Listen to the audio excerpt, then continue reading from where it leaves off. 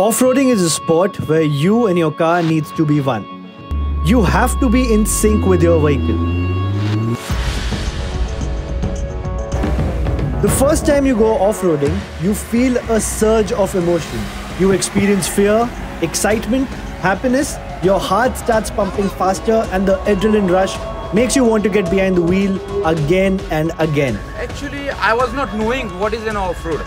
When I went over there, I was just thinking, shall I drive or no? Suddenly I realized after two and three off-roaders, what is an off-road? It is an fearless, a person who knows what is danger, where fearless can come, that is only off-road.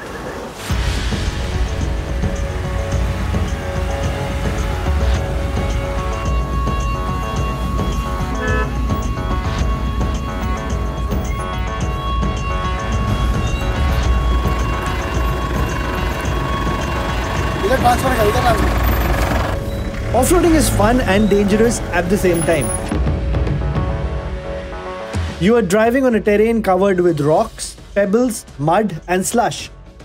You have to have extreme control over your car and so much so that it doesn't slide off the track during turns.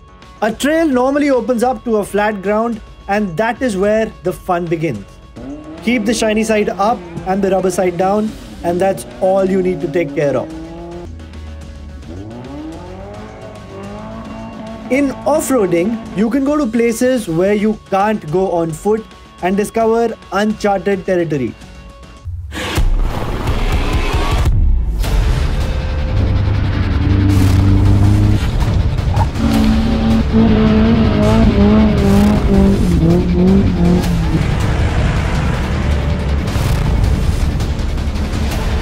To conclude, going off the road is an experience parallel to no other.